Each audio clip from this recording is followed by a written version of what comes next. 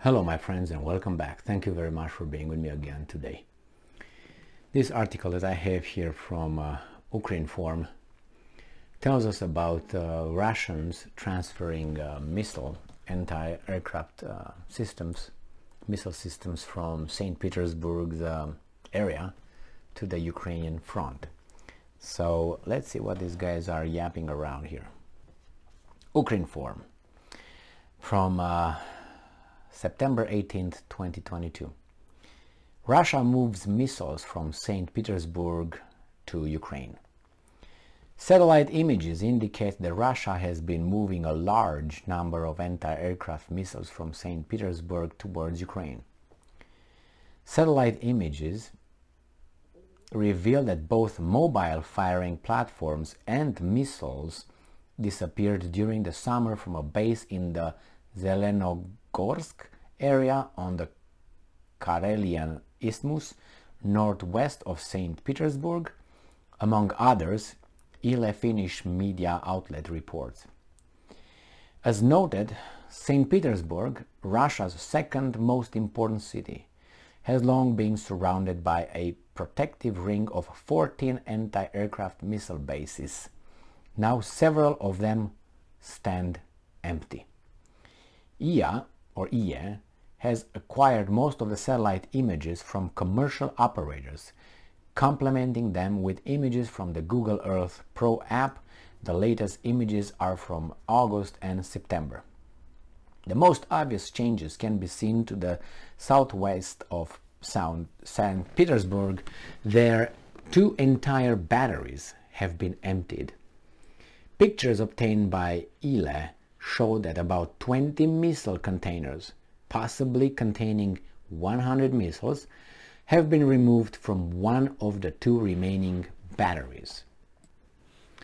Moreover, not only the missile containers, but also a row of vehicles that have been standing in the open for years have disappeared. There has also been a significant transfer of equipment from a base southeast of St. Petersburg, about 10, 10 firing platforms as well as others vehicles. Most of the remaining anti-aircraft missiles in the St. Petersburg region are from the S-400 missile systems. The experts say the equipment that has been removed is primarily from the old S-400 300 systems.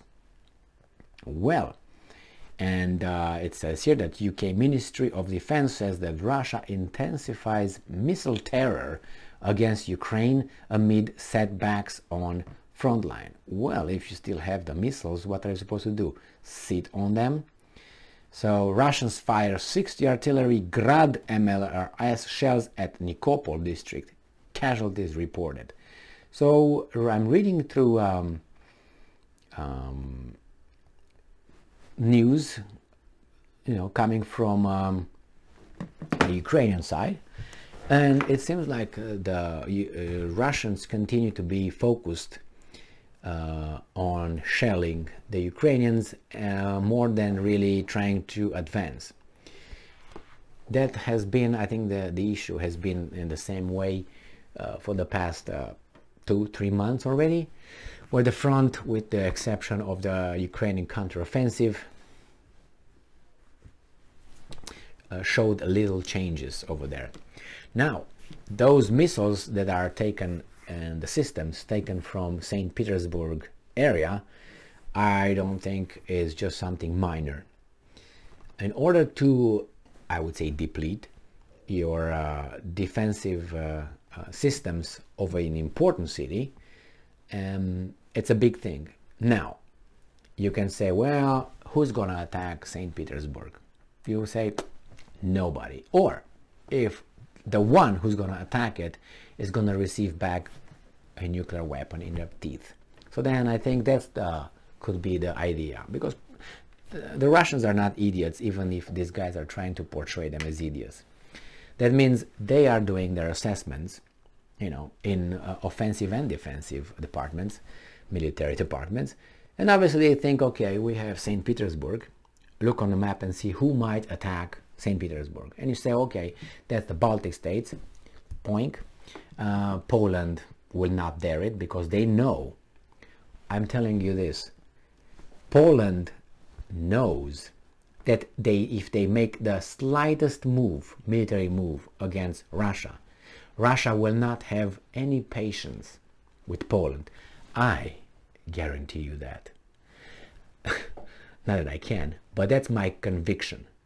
Based on how much love is between the nations and how much Poland did to the Russians now without having to be involved in any way. With this, we help and all that, which is do whatever you want, Poland, but actions have consequences.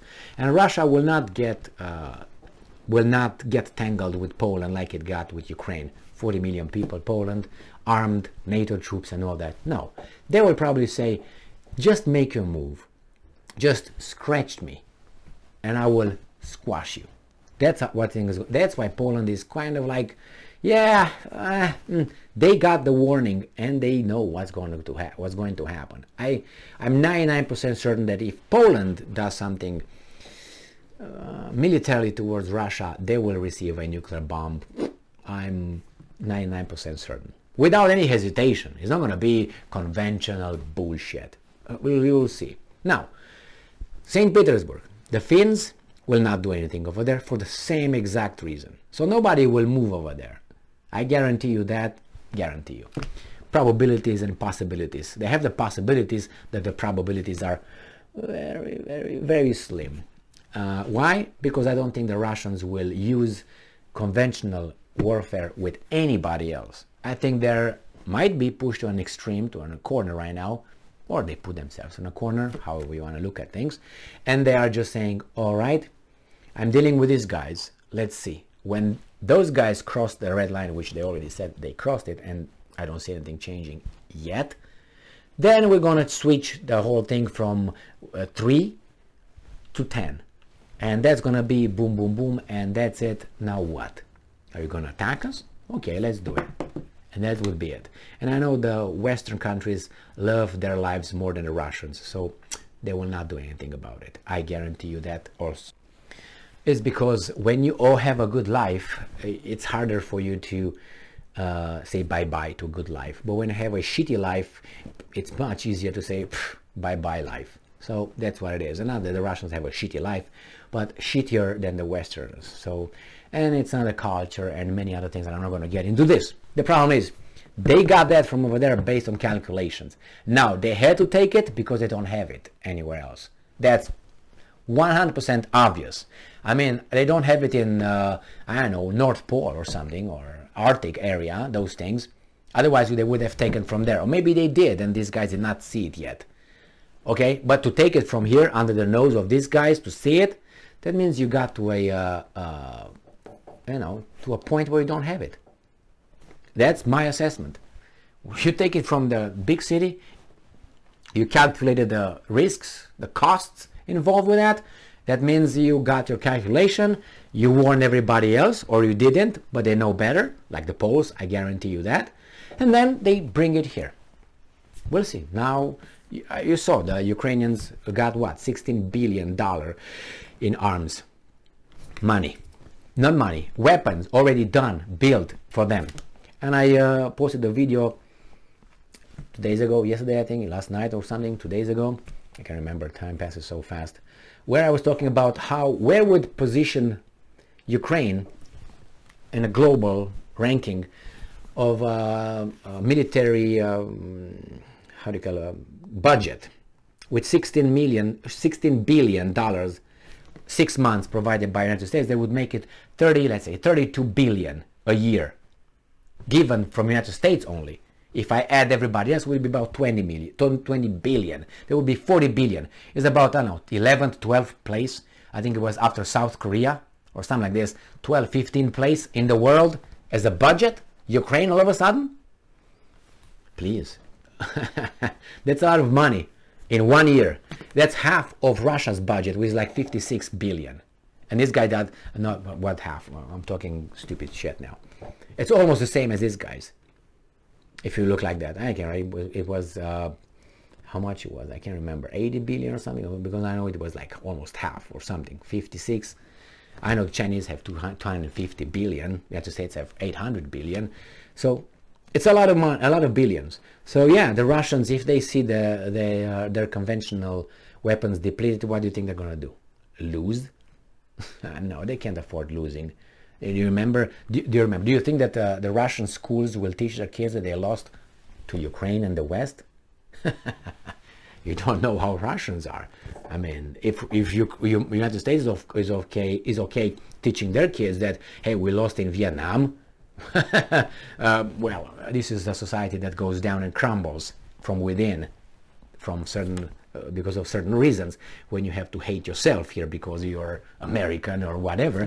Now the Russians are not like there like that yet. That's another reason why they have to become like this self-hating Russian for whatever they are owing everybody an apology and being guilty of things they did not do or if they did everybody else did but somehow they had to feel more guilty than everybody else. Ignoring the qualities and whatever the civilization they they uh, formed they uh, developed and so on. It's outrageous. Anyway it's concerning the uh, movement of those missiles and uh, those uh, systems but you do what you need to do Thank you very much for being with me again today. Stay strong, stay smart, look for the truth, and be just.